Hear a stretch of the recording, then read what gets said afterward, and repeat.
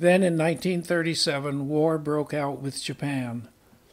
Because America was not yet at war with Japan, relations between the two nations were perhaps not friendly, but at least cordial.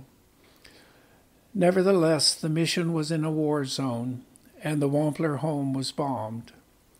When she heard the approaching airplanes, Elizabeth took Jean from his afternoon nap in this crib and carried him downstairs. As she and her two sons crouched between the downstairs windows, the bomb landed in the courtyard, and the room was filled with dust and debris. Elizabeth was holding Jean, so she knew that he was okay, but she couldn't see Joe. Then, from the confusion, she heard a voice ask, Mommy, am I dead?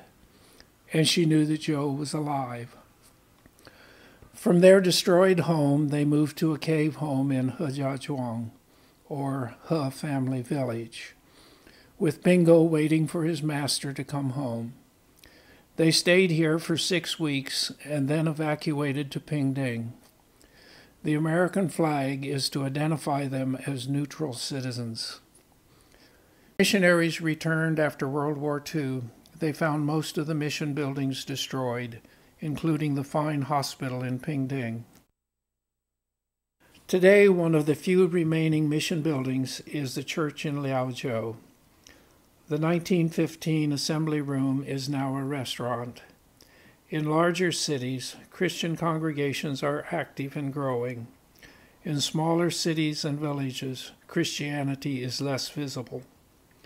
Yet when we met an old gentleman playing checkers in Jinzhou, and mentioned that we had lived there 70 years earlier, the gentleman said, Wangmusher, meaning Pastor Wampler.